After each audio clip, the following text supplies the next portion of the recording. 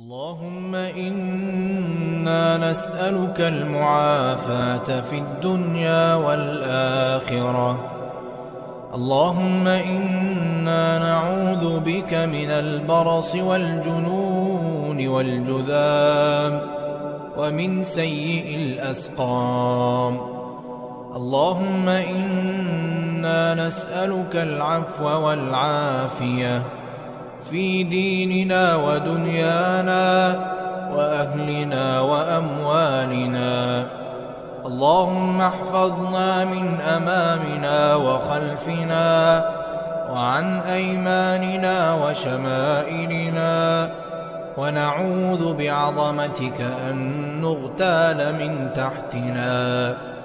اللهم احفظ البلاد والعباد من كل بلاء